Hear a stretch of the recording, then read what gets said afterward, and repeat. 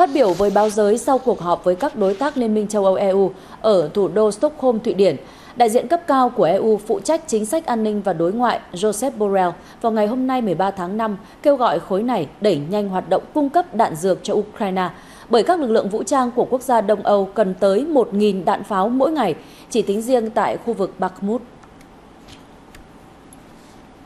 Ông Borrell cho biết tại cuộc họp, Ngoại trưởng Ukraine Dmitry Kuleba tuyên bố Kiev cần thêm hỗ trợ để phòng thủ trước cuộc tấn công của Nga. Theo quan chức EU, xung quanh thành phố chiến trường miền đông Bakhmut, Ukraine cần khoảng 1.000 quả đạn pháo mỗi ngày. Khi được hỏi về cách thức EU có thể đẩy nhanh tiến độ hỗ trợ, ông Borrell thừa nhận các quốc gia thành viên đã đào sâu kho vũ khí của mình và vượt qua những khó khăn về mặt hậu cần.